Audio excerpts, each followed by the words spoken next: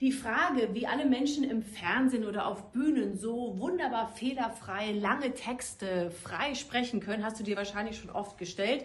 Und die meisten von euch werden auch schon die Antwort kennen. Aber für alle, die sie noch nicht kennen, denen möchte ich mal dieses Geheimnis zeigen. Das sind nämlich diese berühmten Teleprompter.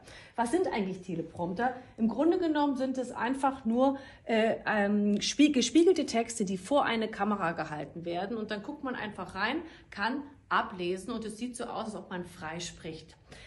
Der Trick ist, dass die Buchstaben relativ groß sind und wenn man genügend Abstand hat, bewegen sich die Augen auch nicht. Das ist sehr wichtig, zum einen. Und der zweite Trick, und den wollte ich dir gerne heute mitgeben, diese Programme gibt es mittlerweile auch für die Handys oder auf den iPads. Das heißt, wenn du auch mal für Social Media ein Video aufnimmst, könntest du dein Handy umdrehen und diesen Prompter runterladen, deinen Text draufspielen und einfach auch ablesen. Dann kannst du sehr frei und sehr viel präsentieren, ohne dass du ständig runtergucken musst oder dich sogar versprichst. So viel für heute aus dem Coachingstudio. Wir haben nämlich den ganzen Tag mit diesem wunderbaren Prompter geübt und kann nur sagen, es hat wunderbar funktioniert.